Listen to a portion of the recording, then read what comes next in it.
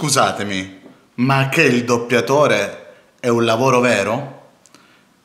Questa è la domanda che ha scatenato una polemica incredibile che ho fatto sul mio profilo personale, non sulla mia pagina Facebook.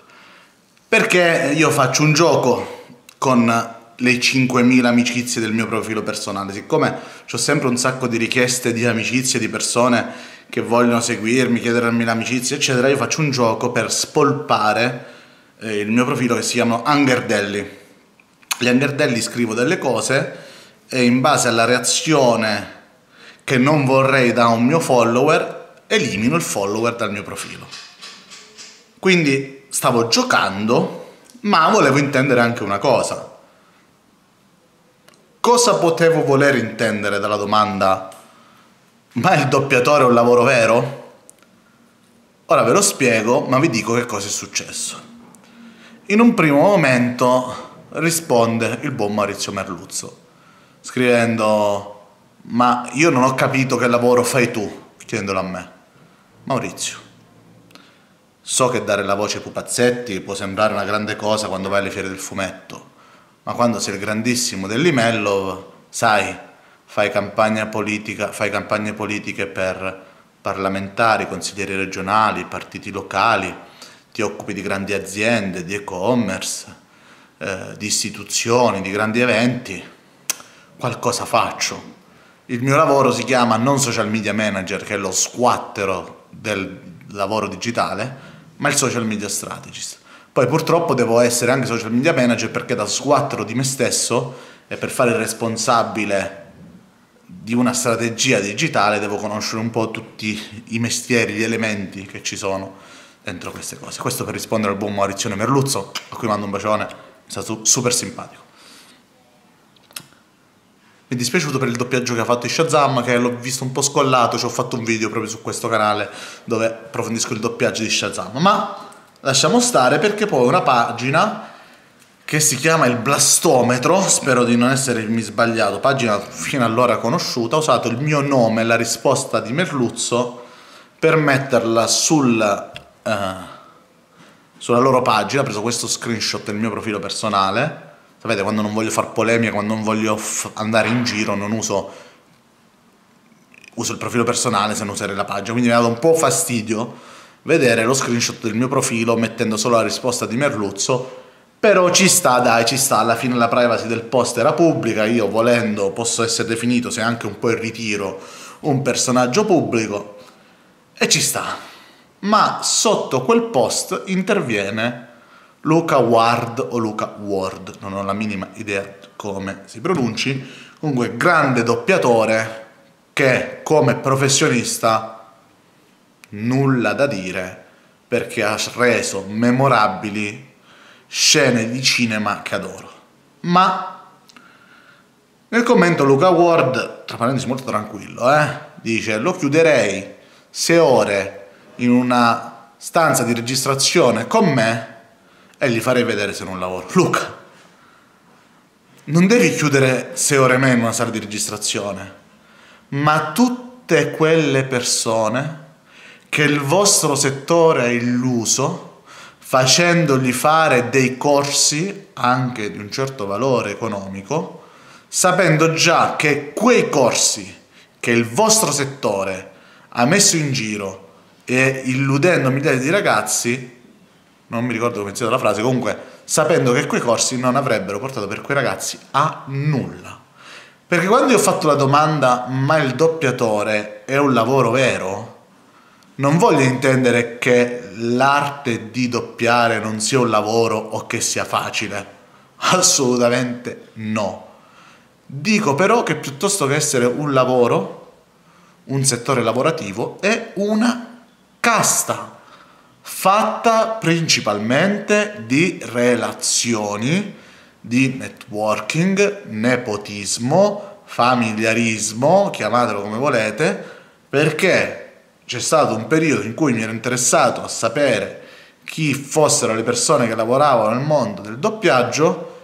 e quando non avevano il cognome paterno ce l'avevano materno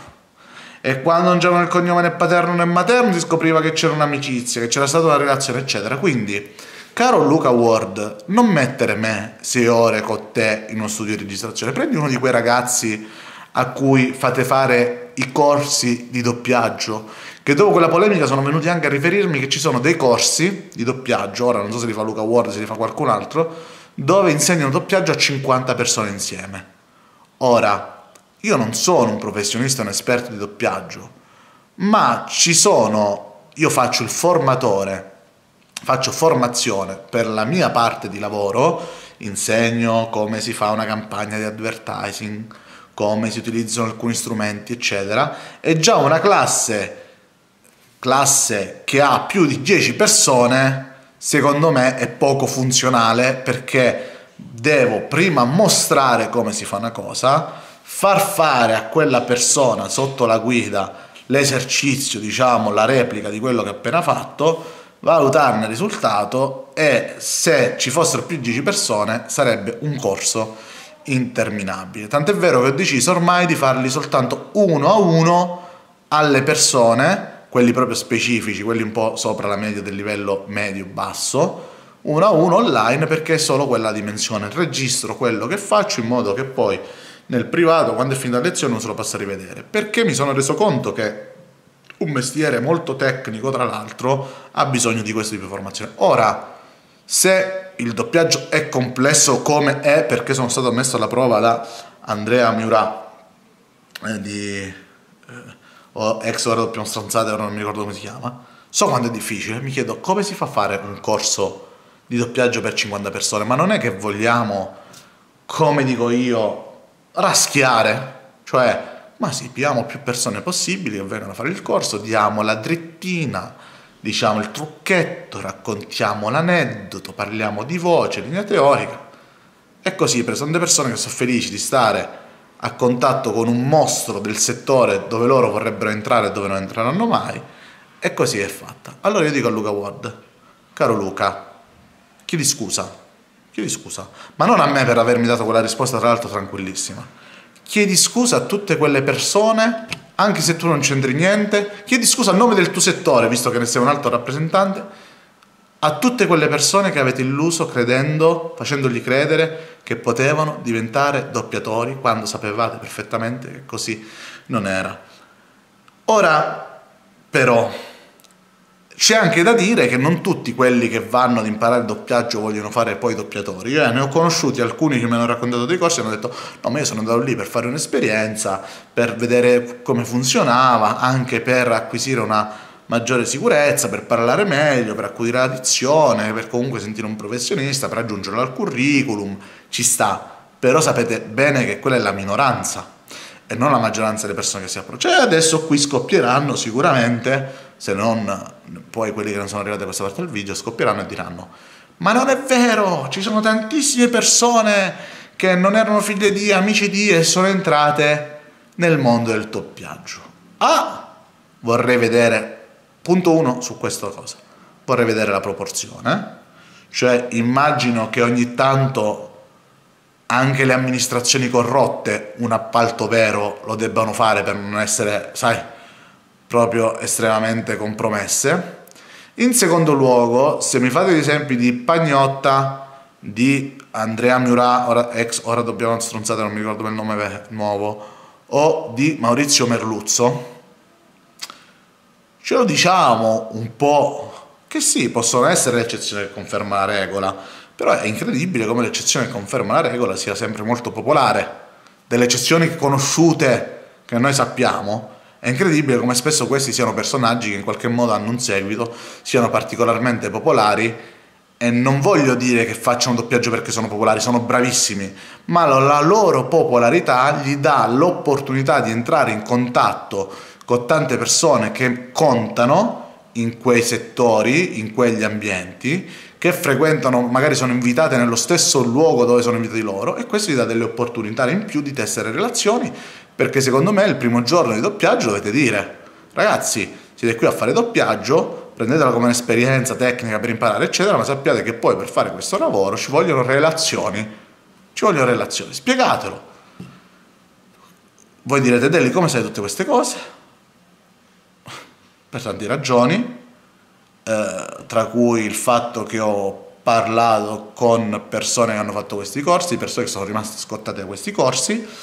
Detto questo, detto questo, ci tengo a ribadire che i doppiatori sono dei grandissimi professionisti, che ci sono caste